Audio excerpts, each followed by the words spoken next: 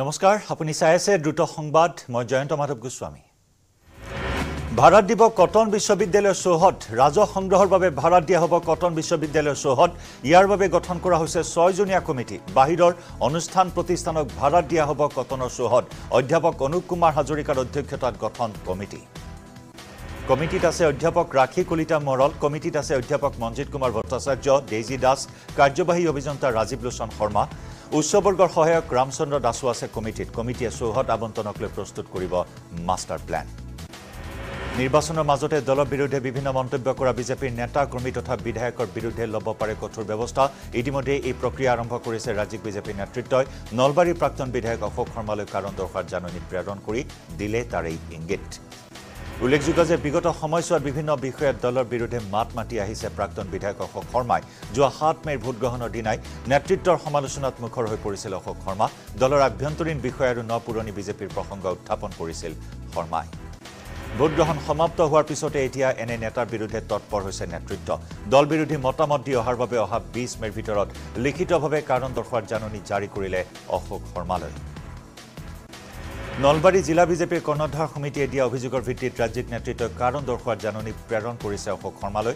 অকল অশোক শৰ্মাই নহয় বিগত সময়ছোৱাত দলৰ বিৰুদ্ধে মাত মতা আন কেইবাগৰাকীও নেতাৰ বিৰুদ্ধে ব্যৱস্থা গ্ৰহণ কৰিব পাৰে নেতৃত্বই।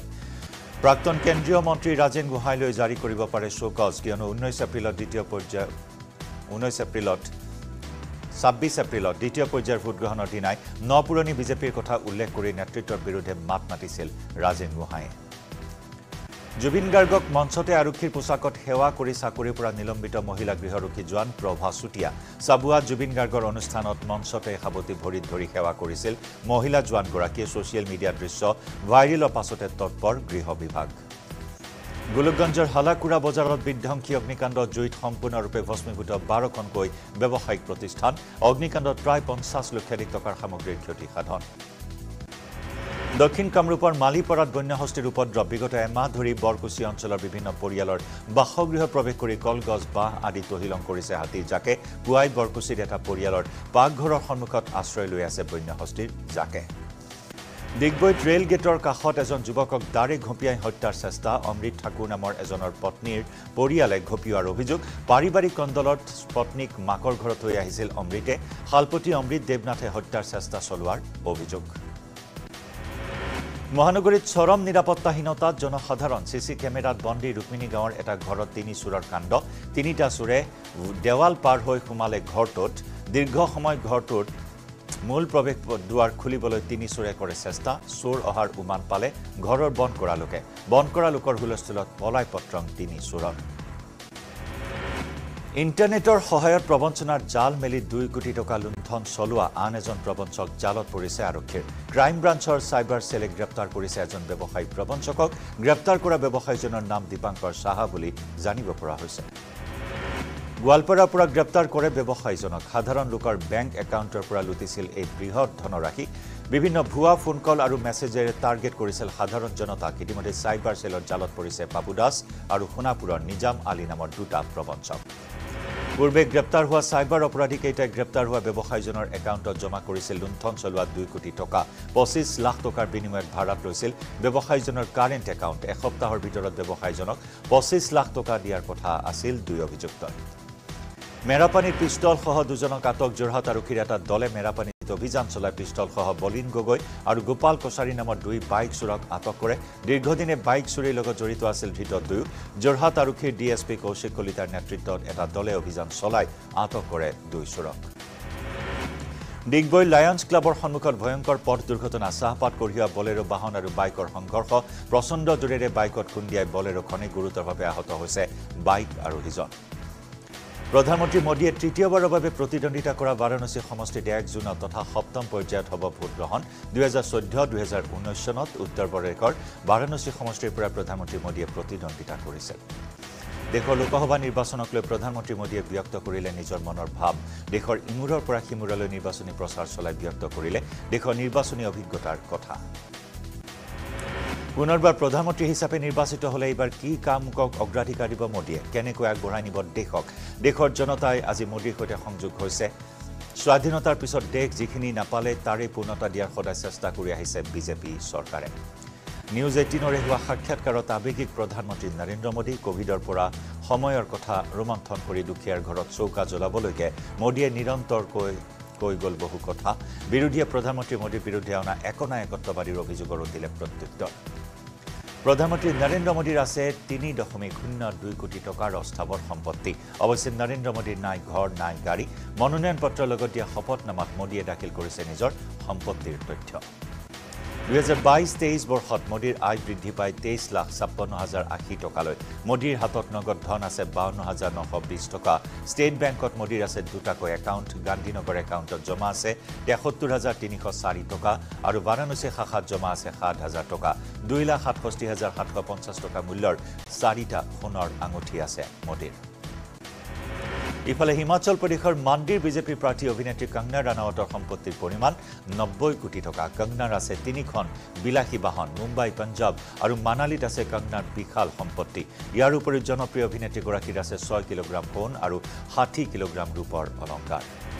এই তথ্য দাখিল কৰিছে মনোনয়ন পত্ৰৰ শপতনামাত। বিজেপিৰ প্ৰাৰ্থী হিচাপে প্ৰতিদ্বন্দ্বিতা কৰা কংগনাৰ নগদ ধন আছে দুই লাখ টকা আৰু বেংকত জমা আছে এক কোটি পঁয়ত্ৰিছ লাখ টকা। সাতত্ৰিছ বছৰীয়া মহাময়ী অভিনেত্ৰীগৰাকীৰ সোণৰ অলংকাৰৰ মূল্য প্ৰায় পাঁচ কোটি টকা। তিনি কোটি টকাৰ আছে হীৰাৰ অলংকাৰ।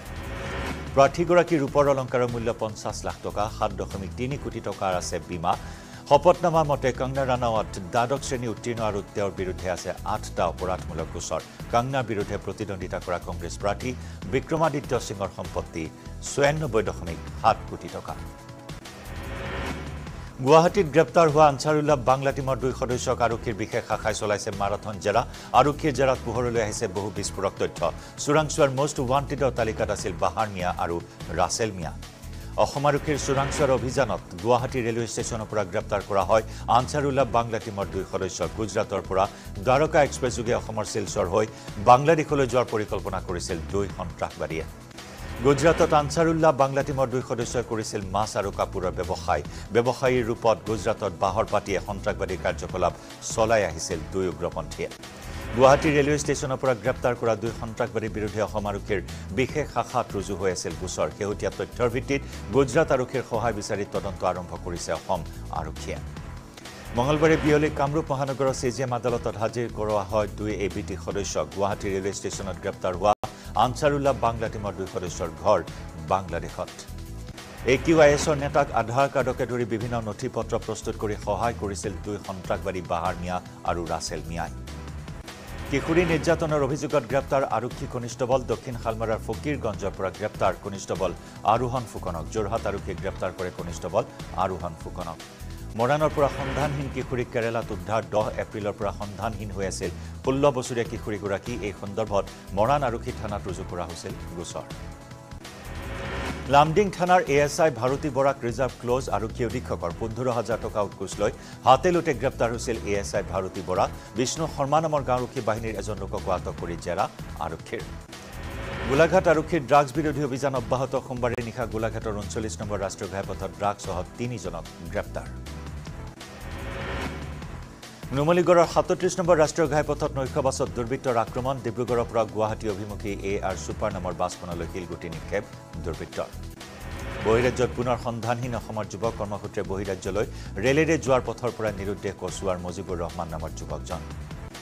শিৱসাগৰৰ এক নম্বৰ কাঠপথাৰ কাঠপাৰাৰ এটা মহ খুঁটিৰ পৰা তিৰাল্লিছটা মহ চুৰি এই তিৰাল্লিছটা মহ চুৰি হোৱাৰ পিছতে ভুক্তভোগী পৰিয়ালকেইটাই নিজাকৈ অনুসন্ধান চলাই পঁয়ত্ৰিছটা মহ শিৱসাগৰৰ দৰিকাপাৰৰ সমীপৰ পৰা উদ্ধাৰ কৰিছে। সৰ্থেবাৰীৰ চতলাত বৃহৎ পৰিমাণৰ নিচাজাতীয় টেবলেট জব্দ চতলাৰ কুখ্যাত ড্ৰাগছ ব্যৱসায়ী আবুল কালাম আজাদৰ ঘৰত অভিযান চলাই জব্দ। কলিয়াবৰত বাগৰি আৰক্ষীৰ ড্ৰাগছ বিৰোধী অভিযান আৰক্ষীৰ অভিযানত ড্ৰাগছসহ এটা সৰবৰাহকাৰীক আটক। বাইহাটা চাৰিআলিৰ সোণাপুৰ গাঁৱত চুৰিকাণ্ড ঘৰত কোনো নথকাৰ সুযোগ লৈ চুৰেশ পিছফালৰ দুৱাৰ ভাঙি সোণৰ আ অলংকাৰৰ লগতে নগদ দুহেজাৰ টকা লুটি লৈ যায়। চামগুৰিৰ ৰকলেণ্ড পাৰ্কৰ সন্মুখত ৰাইজে আবদ্ধ কৰিলে গৰু চুৰিত ব্যৱহৃত এখন টাটা মোবাইল মিনি ট্ৰাক। তিতাবৰৰ বৰহুলা গৰাজানৰ মাঘঢালি ধান নামৰ এগৰাকী যুৱতীৰ মানৱ সৰবৰাহৰ কবলত পৰাৰ সন্দেহ কৰা হৈছে। তামাৰহাটৰ আলুকঝাৰীত মৰেল পুলিচিঙৰ ঘটনা গৰু চোৰৰ সন্দেহত উত্তৰ কাছাৰ উত্তৰ কাছখানা গাঁৱৰ শ্বাহলাম শ্বেখ নামৰ যুৱকজনক হাত ভৰি বান্ধি নিৰ্মমভাৱে প্ৰহাৰ। অতিৰিক্ত আয়ুক্তৰ চহী জাল কৰি গ্ৰেপ্তাৰ হ'ল অধিবক্তা বজালীত সংঘটিত হৈছে এই ঘটনা। বজালী ন্যায়িক আদালতত কৰ্মৰত অধিবক্তা প্ৰীতম দেৱ চৌধুৰীয়ে জাল কৰিছিল চহী আদালতৰ এখন শপতনামাত অতিৰিক্ত আয়ুক্ত প্ৰাঞ্জল কোঁৱৰৰ চহী জাল কৰিছিল এই সম্পৰ্কত দণ্ডাধী গৌৰৱ শেখৰ দাসে দাখিল কৰা এজাহাৰৰ ভিত্তিত গ্ৰেপ্তাৰ কৰা হয় অধিবক্তা প্ৰীতম দেৱ কোঁৱৰক মহানগৰীত স্কুল বাছৰ বিৰুদ্ধে চলিল পৰিবহণ বিভাগৰ অভিযান মঙলবাৰে গণেশগুৰিত পৰিবহণ বিভাগে চলোৱা অভিযানত জব্দ ষোল্লখনকৈ স্কুল বাছ। বঙাইগাঁৱৰ পঞ্চপুৰ এম ই স্কুলত শিক্ষকৰ অমানৱীয় কাণ্ড তিনি ছাত্ৰক ষাঠিবাৰ কাণত ধৰি উঠা বহা কৰিলে শিক্ষকে। ঘটনা অনুসৰি সোমবাৰে টিফিন বিৰতিৰ সময়ছোৱাত ছাত্ৰ তিনিজনে খেলি থকা অৱস্থাত বাঁহৰ টুকুৰা এটা ছিটিকি গৈ শিক্ষক সঞ্জীৱ ৰায়ৰ চাৰিচকীয়া বাহনত পৰিছিল আৰু তাৰেই শাস্তিৰূপে এনেদৰে নিৰ্যাতন চলোৱা হ'ল তিনিটা তিনি কিশোৰক মঙলবাৰে বিদ্যালয় আৰম্ভ হোৱাৰ পূৰ্বে একাংশ অভিভাৱক তথা ৰাইজ ওলাই আহি বিদ্যালয়ৰ প্ৰৱেশদ্বাৰত এক উত্তপ্ত পৰিস্থিতিৰ সৃষ্টি কৰাৰ লগতে শিক্ষকজনক জবাবদিহি কৰিলে।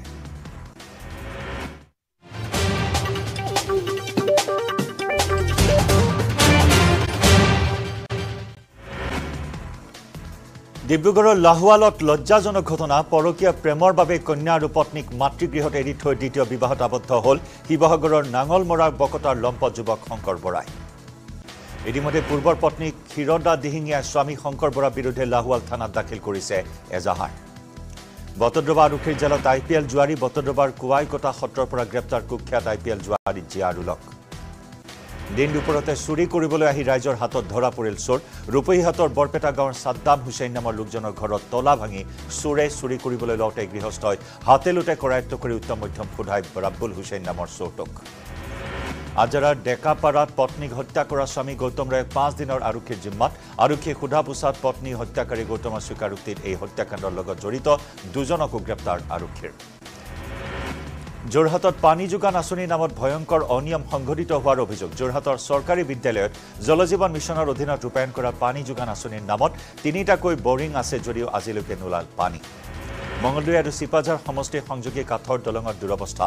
দৰঙৰ শাকতোলা নদীৰ ওপৰত থকা এইখন দলঙেৰে মৰণত শৰণ দি যাতায়াত কৰিছে শতাধিক লোকে। কোকৰাঝাৰত ৰংজালী বৈশাগুৰ অনুষ্ঠানত দেখিবলৈ পোৱা হ'ল অশ্লীল নৃত্য। সোমবাৰে ৰংজালী বৈশাগুৰ কাৰ্যসূচীত স্বল্প বসনা যুৱতীয়ে হিন্দী গীতৰ তালে তালে নাচিলে উদ্যাম নৃত্য যাক লৈ তীব্ৰ প্ৰতিক্ৰিয়া। জৰিয়াৰ বালুচৰ বজাৰত বিদ্যুৎ বিভাগৰ কৰ্মকাণ্ডত অতিষ্ঠ গ্ৰাহকৰ প্ৰতিবাদ। বিদ্যুৎ সংযোগ নলগোৱা আৰু কৰ্তন হৈ থকা গ্ৰাহকৰ নামত হাজাৰ হাজাৰ টকাৰ বিদ্যুৎ বিল প্ৰেৰণ কৰাক লৈ ক্ষুব্ধ গ্ৰাহকে সাব্যস্ত কৰিলে প্ৰতিবাদ। যোৰহাটৰ অসম কৃষি বিশ্ববিদ্যালয়ৰ উপাচাৰ্যৰ কাৰ্যালয়ৰ সন্মুখত উত্তাল প্ৰতিবাদ। নতুন পেঞ্চন নীতিৰ পৰা আঁতৰাই ৰখা তথা অৱসৰৰ পিছত কোনো ধৰণৰ সুবিধা লাভ নকৰাকৈ কে ভি কেৰ কৰ্মচাৰীসকলে সাব্যস্ত কৰে প্ৰতিবাদ। ধেমাজিৰ বজাৰত এতিয়া ব্ৰইলাৰ মুৰ্গীৰ মাংসৰ খুচুৰা মূল্য দুশ আশী টকা। গ্ৰামাঞ্চলৰ ভিতৰত তিনিশ টকাৰ পৰা ক'ৰবাত তিনিশ বিছ টকা পৰ্যন্ত চুইছেগৈ। নিৰ্বাচনৰ পাছতে এতিয়া পাইকাৰীৰ দাম বৃদ্ধি হৈ এশ আশী টকা প্ৰতি কেজি পালেগৈ গোটা ব্ৰইলাৰৰ দাম। ছয় বছৰে অচল হৈ আছে শিৱসাগৰৰ জয়সাগৰস্থিত পশুপালন বিভাগৰ দুগ্ধ উন্নয়ন বিভাগৰ দুগ্ধ শীতলীকৰণ কাৰ্যালয়। ছয় বছৰত এটাও কাম কাজ হোৱা নাই চৰকাৰী কেন্দ্ৰটোত। গৰাখহনীয়াৰ কবলত গহপুৰ দক্ষিণাঞ্চলৰ নৈপৰীয়া ৰাইজ গৰাখহনীয়া ৰোধৰ বাবে চৰকাৰৰ ওচৰত দাবী জনাই ভাগৰি পৰা ৰাইজে এইবাৰ গৰাখহনীয়া ৰোধৰ বাবে নদীৰ পাৰত আগবঢ়ালে পূজা অৰ্চনা। উত্তৰ গুৱাহাটীত বনিয়া পুঁজিপতিয়ে এইবাৰ ঐতিহাসিক স্মৃতি চিহ্নত চলালে সাঁতোৰা। আহোম যুগৰ ঐতিহাসিক ৰংমহল বৰ্গৰ ধ্বংস কৰি বনিয়া কৈলাশ শৰ্মা নামৰ লোকজনে চলাইছে এক্সেভেটৰ বন্ধ হোৱাৰ দিশে ৰাজ্যৰ তেত্ৰিছখনকৈ অপ্ৰাদেশীকৃত উচ্চতৰ মাধ্যমিক বিদ্যালয়। যোৰহাট জিলাৰ তিনিখন চৰকাৰী বিদ্যালয় বন্ধ হোৱাৰ দিশে আনহাতে কোনো লিখিত নিৰ্দেশনা নিদিয়াকৈ হঠাৎ বন্ধ কৰি দিলে দৰ্পণ পৰ্টেল। ধনৰ অভাৱৰ বাবে ঘৰলৈ আনিব পৰা নাই পাটনাত চিকিৎসাধীন বেবেজিয়াৰ দক্ষিণ পাট হাতীগড়ৰ এজন যুৱকক। দুৰ্ঘটনাত গুৰুতৰভাৱে আহত হৈ পাটনাত চিকিৎসাধীন হৈ আছে বিপ্লৱ দাস নামৰ যুৱকজন। বুন্দাস্থিত অসম ৰুফিং নামৰ উদ্যোগটোৱে চৰকাৰী নীতি নিৰ্দেশনা উলংঘা কৰাৰ অভিযোগ। অভিযোগ অনুসৰি উদ্যোগ কৰ্তৃপক্ষই জনস্বাস্থ্যলৈ ভাবুকি কঢ়িয়াই ৰাসায়নিক পদাৰ্থ ব্যৱহাৰ কৰি উদ্যোগটোত সামগ্ৰী প্ৰস্তুত কৰি আহিছে। অসম ৰুফিং উদ্যোগ কৰ্তৃপক্ষৰ দায়িত্ব জ্ঞানহীনতাৰ বাবে বৰ্জনীয়। ৰাসায়নিক আৱৰ্জনাই অঞ্চলটোৰ বহু গছ গছনি মাৰি পেলাইছে। অসম ৰুফিং উদ্যোগটোৰ বিৰুদ্ধে স্থানীয় ৰাইজৰ অভিযোগৰ ভিত্তিত চলোৱা জৰীপত বুন্দাৰ বিভিন্ন অঞ্চলৰ পানীত ফ্লৰাইড আৰু আৰ্ছেনিকৰ উপস্থিতিও ধৰা পৰিছে। গুৰুতৰভাৱে অসুস্থ প্ৰাক্তন শিক্ষামন্ত্ৰী Thaneswar Boro G M C এইচত চিকিৎসাধীন হৈ আছে জ্যেষ্ঠ আঞ্চলিকতাবাদী নেতাগৰাকী। কলিয়াবৰত গণৰ মৃতদেহ উদ্ধাৰ কলিয়াবৰ চাহ বাগিচাৰ সোণাৰী শাখাৰ ঊনৈছ নম্বৰ বাগানত উদ্ধাৰ গণৰ মৃতদেহ। কলিয়াবৰৰ কেলিডেন চাহ বাগিচাত বন্যহস্তীৰ আক্ৰমণত এগৰাকী বৃদ্ধাৰ মৃত্যু। নিশা ঘৰৰ পৰা বাহিৰলৈ ওলাওঁতে আক্ৰমণ কৰে লুচিয়া এক্কা নামৰ বৃদ্ধাগৰাকীক বন্যহস্তীয়ে। নগাঁও বটদ্ৰবা সংযোগী গড়কাপ্তানী পথৰ কদমনিত পথ দুৰ্ঘটনা। ককালে ককাকে স্কুলৰ পৰা নাতিয়েকক চাইকেলেৰে লৈ গৈ থকা অৱস্থাত পিছফালৰ পৰা তীব্ৰবেগী বাছে খুন্দা মাৰি এই দুৰ্ঘটনাত গুৰুতৰভাৱে আহত দুয়ো। কৃষ্ণাই নৈৰ ওপৰত থকা গড়কাপ্তানী বিভাগৰ এখন লোড দলঙত একাংশ দুষ্ট চক্ৰৰ চুৰি কাৰ্য। এই ঘটনাত স্থানীয় ৰাইজে লোহাৰ খুঁটা কাটিবলৈ ব্যৱহাৰ কৰা এখন হাইড্ৰা বাহন জব্দ কৰাৰ লগতে বাহনখনৰ চালকক আটক কৰে যদি ঘটনাস্থলীৰ পৰা পলাল আন দুজন। বৰষুণৰ অভাৱত অসমৰ ক্ষুদ্ৰ চাহ খেতিয়কৰ বহু বাগিচা নষ্ট হোৱাৰ আশংকা। শোণিতপুৰৰ ঢেকীয়াজুলি ৰাজচক্ৰৰ বৰচলা অঞ্চলত বৰষুণ নোহোৱাৰ বাবে দুশৰো অধিক ক্ষুদ্ৰ চাহ খেতিয়কৰ কেঁচা চাহপাতৰ খেতিত প্ৰভাৱ পৰা পৰিলক্ষিত হৈছে। নুমলীগড়ৰ এন আৰ এল প্ৰগতি দ্বাৰত স্থানীয় লোকক বঞ্চনা কৰাৰ অভিযোগত উত্তাল প্ৰতিবাদ বহিৰাগ বহিৰাগত শ্ৰমিকক প্ৰগতি দ্বাৰতে আবদ্ধ কৰি আছো আৰু স্থানীয় লোকসকলে সাব্যস্ত কৰে উত্তাল প্ৰতিবাদ। বোকাখাটৰ ডিফলু চাহ বাগিচাৰ লতাবাৰী ডিভিজনত কৰ্মবিৰতি পালন কৰি শ্ৰমিকসকলে ধৰ্ণা কাৰ্যসূচী ৰূপায়ণ কৰে। তামোলপুৰৰ অন্তৰ্গত ভাৰত ভূটান সীমান্তৰ নতুন বস্তি আঙাৰকাটাত স্থানীয় ৰাইজে আয়োজন কৰে সংবাদমেল।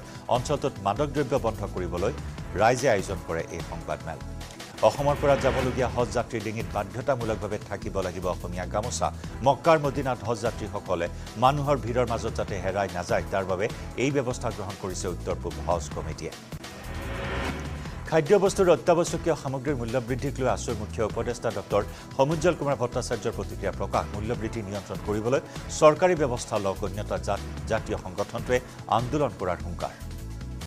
গাহৰি পালনেৰে স্বাৱলম্বী ৰঙাপৰা দিবাকৰ বসুমতাৰী নামৰ যুৱকজন। ফুলবাৰীৰ বেংবাৰী যুৱকজনে প্ৰায় দহ বছৰ ধৰি গাহৰি বিক্ৰী কৰি বছৰত তিনি চাৰি লাখ টকা উপাৰ্জন কৰি আহিছে। কোকৰাঝাৰৰ অন্থাই গোলাউডৰ ক্ষুদ্ৰ ব্যৱসায়ী ধনঞ্জয় নাৰ্জাৰীৰ সফলতা ধনঞ্জয় প্ৰস্তুত কৰা সোমখোৰ হাৰ্বেল হেয়াৰ অইলে ক্ৰেতা ৰাইজৰ মাজত বিপুল সমাদৰ লাভ কৰিছে। সদ্য ঘোষিত চি বি এছ ইৰ দশম শ্ৰেণীৰ পৰীক্ষাৰ ফলাফলত উজলিত শিৱসাগৰৰ পূৰ্ণ বিকাশ কেন্দ্ৰীয় বিদ্যালয় শিক্ষানুষ্ঠানখনৰ পৰা এইবাৰ উত্তীৰ্ণ হোৱা এশ এগৰাকী ছাত্ৰ ছাত্ৰীৰ সকলোৱে সুখ্যাতিৰে উত্তীৰ্ণ হৈছে। সদ্য ঘোষিত হাইস্কুল শিক্ষান্ত পৰীক্ষাৰ ফলাফলত এশ শতাংশ উত্তীৰ্ণ শিৱসাগৰৰ দিচাং ৰজাবাৰী উচ্চতৰ মাধ্যমিক বিদ্যালয়ৰ শিক্ষাৰ্থীসকল। প্ৰকৃতি সংৰক্ষণৰ বাৰ্তালে কোৰিয়াবোৰৰ এগৰাকী ব্যক্তিৰ প্ৰশংসনীয় পদক্ষেপ। বাট পথ হাট বজাৰ আদি ৰাজহুৱা স্থানত বিনামূলীয়াকৈ মূল্যৱান গছপুলি বিতৰণ কৰিছে। হাজোৰ শনিয়াদীৰ আৰিফ ৰাজা নামৰ যুৱকজন এতিয়া ভাইৰেল হৈছে ছ'চিয়েল মিডিয়াত। কিয়নো প্ৰয়াত অভিনেতা কিশোৰ দাসৰ দৰে সাইলাক দেখিবলৈ একে আৰিফ ৰাজা নামৰ যুৱকজন। কমলপুৰত এটি অত্যাধুনিক শৰীৰ চৰ্চা কেন্দ্ৰ মুকলি কৰিলে জনপ্ৰিয় ইউটিউবাৰ বেতাল আৰু নিপুৱে। অসম ডাউন টাউন বিশ্ববিদ্যালয়ৰ এল এন টি এডুটেক আৰু অসম ডাউন টাউন বিশ্ববিদ্যালয়ৰ মাজত সম্পাদিত হয় এক বুজাবুজিৰ চুক্তি। গুৱাহাটীৰ এপলো হাস্পতালৰ অভিনেতা যতীন বৰা পত্নী আৰু কন্যাৰ সৈতে আহি হাস্পতালত স্বাস্থ্য পৰীক্ষা কৰিলে অভিনেতাগৰাকীয়ে। কাজিৰঙাত এহাল বাঘ বাঘিনীৰ এক মধুৰ সময় দৃশ্য ভাইৰেল হৈছে সামাজিক মাধ্যমত। কাজিৰঙা ৰাষ্ট্ৰীয় উদ্যানৰ গহীন নিৰ্জন বননিত এই বিশেষ দৃশ্য কেমেৰাত বন্দী কৰিছিল টুৰিষ্ট গাইড বিতুপন কলঙে। গুৱাহাটীত আই পি এলৰ উন্মাদনা আজি বৰ্ষাপাৰাত অনুষ্ঠিত হ'ব ৰাজস্থান ৰয়েলছ আৰু পাঞ্জাৱ কিংছৰ মাজত খেল। ইতিমধ্যে সোমবাৰে বৰ্ষাপাৰাত অনুশীলন চলালে টীম পাঞ্জাৱ কিংছে মঙলবাৰে বৰ্ষাপাৰাত অনুশীলন চলালে ৰাজস্থান ৰয়েলছে। ঊনৈছ মে'ত বৰ্ষাপাৰাত কলকাতা নাইট ৰাইডাৰ্ছৰ মুখামুখি হ'ব ৰাজস্থান ৰয়েলছ।